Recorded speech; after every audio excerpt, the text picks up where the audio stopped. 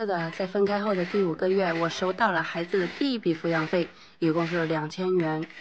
既然对方可以发了视频，我也帮你证明一下，这次是终于给了。也谢谢一直帮我发声的姐妹们。另外，视频里面提到了要多给，我在这里也公开表个态。既然走出了这段关系，大家各自履行义务就好。我能靠自己，就绝不伸手多要一分。希望对方是真的承担起了这份责任，不要迫于粉丝压力做一次秀，这只是开始，而不是结束。你说之前拖欠是因为生意困难，虽然分开只有几个月，不知道你是什么时候开的两家奶茶店。资金压力突然那么大，但你毕竟作为孩子的父亲，我也不去追究什么真真假假的，啊，意义也不大。祝你一切顺利吧。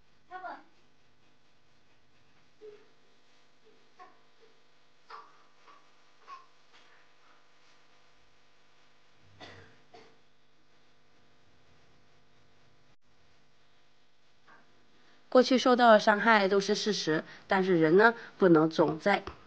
不幸中停滞不前，生活好不容易逐渐走上正轨，希望能够和家人过上平静和安稳的日子，不不要被不必要的打扰困扰。最后发自内心的再感谢下我的粉丝姐妹们，感谢你们一直在替我和孩子发声。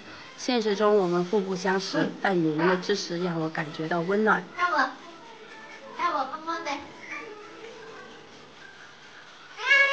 慢点，慢点啊！